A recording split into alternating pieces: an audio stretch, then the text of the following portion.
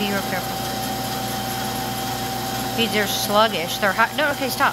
They're hibernating. We need to. Oh, he's shaking a little bit. Let's go put him out in the old. Let's go put. No, no, no. Yeah, put him. Put him back in there. I think he's cut a little bit. We didn't know that. So put him back in there. We'll put him in the Well, woods. what I'm I can do, we can angle up which side it was. The way it was, it goes just like that.